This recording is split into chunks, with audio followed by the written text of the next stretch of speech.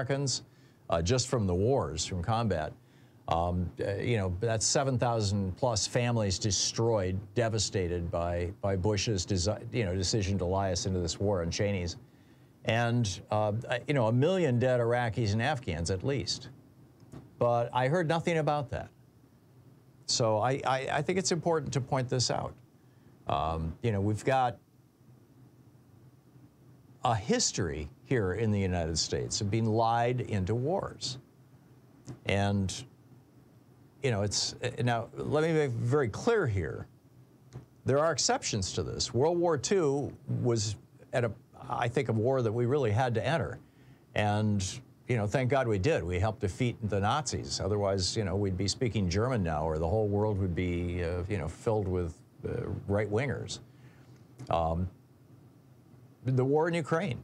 Here you had, you know, Putin attacking a, a, sovereign country next door to him twice, you know, in, in 2014 in Crimea and then last year in, in Ukraine. Um, the possibility that China could attack Taiwan, these are allies of ours. But that said, you know, defensive military operations like Ukraine or World War II have really been the minority in, in uh, uh, well, yeah, I'll, I'll say that, the minority in, in American history. Um, you know, after 9-11, for example, the Taliban said, you know, this is terrible. Your, your buildings got knocked down. We had nothing to do with that. We will arrest bin Laden and give him to you if you want. And then you see the headline in the Washington Post, this was back in 2000, uh, 2001, quote, Bush rejects Taliban offer on Bill, bin Laden. That's the headline, the Washington Post headline. And with that decision not to arrest bin Laden for his crimes, but instead to go to war, first in Afghanistan, then in Iraq, you know, Bush and Cheney put us on a path to disaster, essentially. You know, the, the 9-11 attacks were not, they had nothing to do with Afghanistan, other than that bin Laden had been living there. But at the time of the attacks, bin Laden was actually in Pakistan. They were not planned in Afghanistan. They were not hatched, developed, practiced, expanded, worked out. Uh, yeah, he had a terrorist training camp there. None of the 9 11 hijackers had gone through it. That was just basically a little kind of money making thing on the side that, you know, bin Laden was doing. Um, you can't track a lot back to that. Maybe the USS Cole, I'm not sure, but um, but you know, almost two decades later, then Donald Trump and and his uh, uh, his uh, CIA director Mike Pompeo get, they gave the Taliban everything they wanted: power, legitimacy. We shut down nine out of ten Air Force bases when when it became clear that Joe Biden had won the election. This was all to set up a disaster for Joe Biden. You remember when Donald Trump ordered the release of 5,000 of Afghanistan's worst war criminals? Murderers, rapists. Why, why did he do that? Well, because the Taliban wanted them released, and he wanted the Taliban to stop shooting at Americans because it looked bad for him. Seriously. Trump said, uh, the relationship I have with the mullah is really very good. Right. Following that betrayal, Donald Trump and the Republican Party scrubbed the record of their embrace of the Taliban from their websites. Uh, you know, this, this but, but this isn't the first time this has happened. And that's why it's so important that we learn from 9-11, because we didn't learn from these previous examples. Vietnam wasn't the first time an American president had lied, and his buddies in the media had lied us into a war. Uh, this was, with Vietnam, it was Defense Secretary Robert McNamara lying to the president. For two weeks, Lyndon Johnson thought that our, our warship in the Gulf of Tonkin had been, had been hit by the Vietnamese. All that time, Robert McNamara knew that wasn't the case.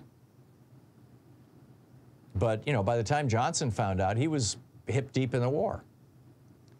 The same thing with uh, President McKinley lying us into the Spanish-American War, saying, you know, remember the USS Maine, that ship that caught on fire in the, in the harbor in, in the Havana Harbor in Cuba. Well, the USS Maine did catch on fire because its boiler blew up. It had nothing to do with Spain attacking us. But hey, it was a, it was a great war, at least from McKinley's point of view.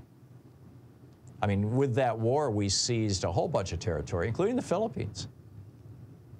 Arguably, the first time we relied into a ma major war was 1846. This was when President James Polk lied that we had been invaded by Mexico and used that as a pretense to declare the Mexican American War, which then seized parts of Texas, Arizona, New Mexico, and Southern California for the United States. Or you could even argue that uh, Andrew Jackson, when he signed the Indian Removal Act in 1830, lied us into a war that the Indians were a threat to, to America and all that kind of stuff. But looking at the war in, in uh, Afghanistan and Iraq is particularly important, I think, because of the way George Bush handled this. Back in uh, 2000, or back in 1999, George W. Bush's family hired Miss, Mickey Herskowitz. He was a family friend and an author. He, he ghost wrote autobiographies for people and for political figures. And he ghost wrote the first draft of George W. Bush's book, A Charge to Keep, his autobiography. He always had to publish an autobiography before you run for president, right? So it was kind of obligatory, so he did it. And Herskowitz tells us, quote, one of the things Bush said to me, one of the keys to being seen as a great leader is to be seen as a commander in chief. My father had all this political capital built up when he drove the Iraqis out of Kuwait, and he wasted it. If I have a chance to invade Iraq, now keep in mind, this was a year before the election of 2000. Bush said, if I have a chance to invade Iraq, if I get that much capital, I'm not going to waste it. I'm going to get everything passed that I want to get passed, and I'm going to have a successful presidency.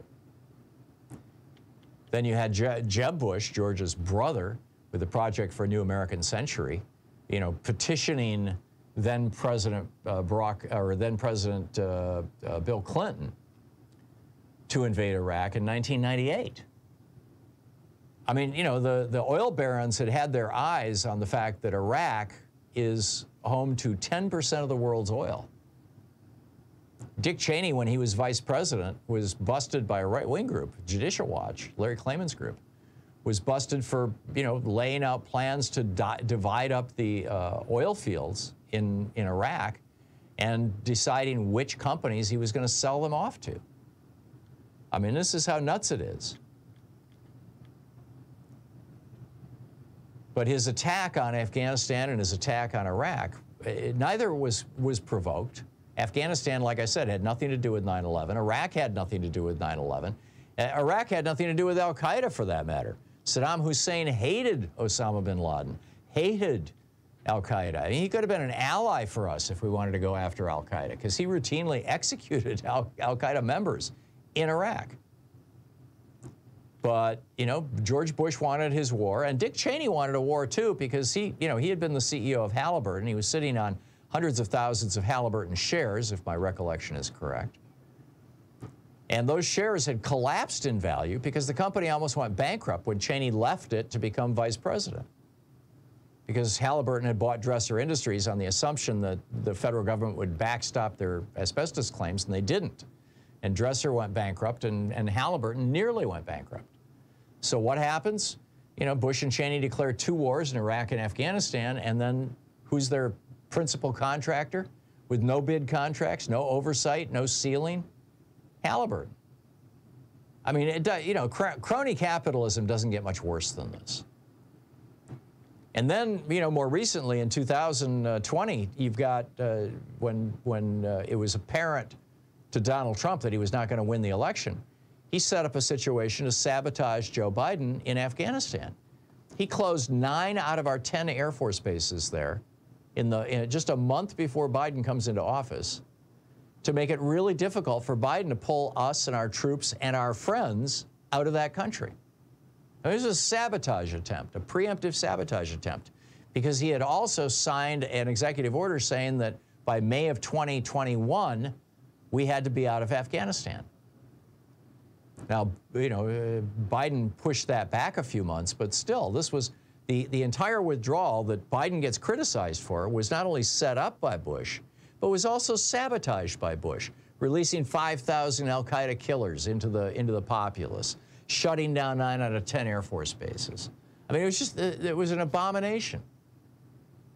It never should have happened that way. As, as Biden said, when I came into office, I inherited a deal cut by my predecessor when he invited the Taliban to Camp David on the eve of 9 11 in 2019 that left Taliban in the strongest position militarily since 2001.